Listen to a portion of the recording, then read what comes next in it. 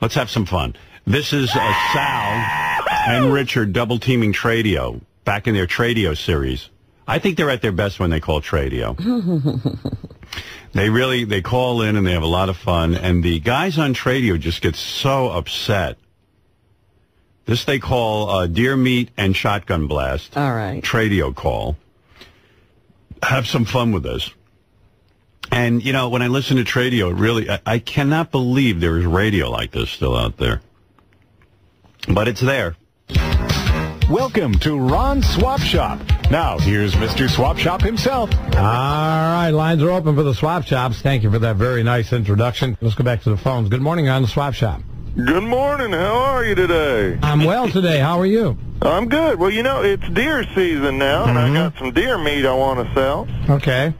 I use a whole deer. I got some of the more exotic type of meat. Like I got uh, 15 pounds of grade A deer vagina lip steaks, and you can also make vagina lip chili. You know what?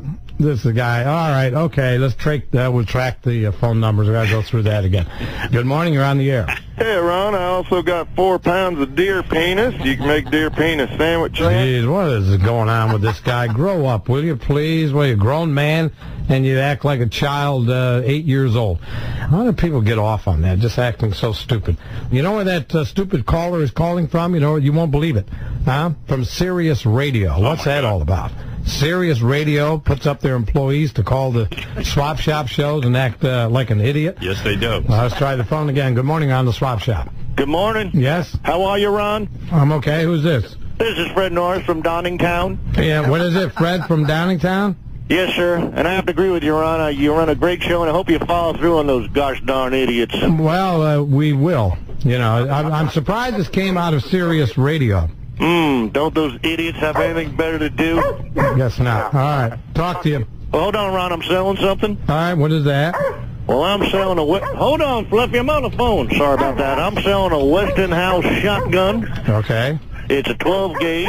All right. Fluffy, stop licking the gun. Oh, Fred, I just shot Fluffy's asshole off. Well, this is really nuts. Yeah, it's got to be. It's got to be. I know who's. the- You know, this is really stupid. All right, we'll uh, continue with the show uh, on a more adult level. Good morning on the swap shop. Cousin Jeff, get away from that shotgun. Okay. Yeah. Ah, this guy is really persistent. I'll give him that. Anyway, uh, get a job or do something with Yeah, your brain. All right, be productive. No. Okay. All right. What else do we have here?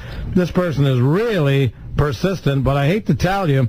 Uh, okay, I'm going to answer the call. Go ahead. You're on the swap shop. Got seven pounds of deer rectum tacos. Uh, there are just you know people with no purpose in life, and uh, they just find these little things to do. And what are you going to do? And good morning. You're on the swap shop.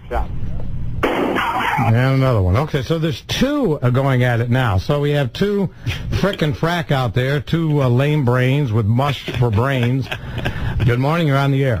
Ron, I got three pounds of deer taint meat. Uh, And good morning. You're on the swap shop. hey, Ron, boy, it sure is hard to get through to you today. Uh, I'm sorry uh, because we're getting so many screwball calls, but I'm sorry about that. Well, anyway, I'm selling a washer dryer. Uh, the dryer works fine, but the uh, the washer's a little bit on the fritz.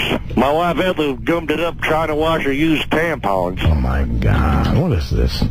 This is really stupid. You know, it's, we trace these calls to Sirius Radio, and I'm beginning to wonder if it's Howard Stern to put up some stupids to do his dirty work for No him. way. I really believe that because I understand that uh, he has uh, he's bent on disrupting uh, shows of this nature, like swap shops around the country, Right. and he has his uh, idiot uh, followers uh, call around and pose and do these sort of things to to the show hosts. And uh, be right back after this.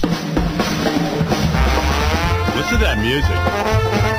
It's like, isn't that the music they played when like Harding won the presidency? Yay! President Harding won. You know, it's like the music from Boardwalk Empire. Yeah, it's You know. another time. It's like we stepped into a time machine. Yeah, what year would that be that we're in? 1930s or Yeah, something? like the, yeah, right. Like the, no, you're right. 1930s. Yeah. d- when they used to do that thing with their knees and when they dance, the Charleston. Right. What is that? Dixieland. Wow. Yeah, you know, I'm the enemy of Swap Shop. I, Didn't you sit down and you had a plan? You said, look, there's these little shows all across the country. Well- I want to disrupt them. to be honest, it's a little deeper than that, a little more pathological. Oh, when I was when I was nine years old, my parents were murdered by a swap shop host, and I swore, like Batman, I would. to all swap That's shops. right. Yeah, that's right. I, I will I will disrupt swap shop. Holy mackerel. That's some, you know, like not only is it old fashioned radio, but the music they play is even old. I mean, everything about Yeah. it. It's like you turned They your have radio not on. stepped into the 21st century. Imagine like that'd be a good movie. You go into a coma, you wake up, and in the hospital they have swap shop on, and you think you've traveled back in time. Right. Oh my God! A time you never knew. And you start screaming how no, no, no, it's 2012, and the, but, but wait, the radio says it's 1933, Oh, I'm so confused. and then you jump out a window and kill yourself, and that's the end of the movie. Oh man, that's great.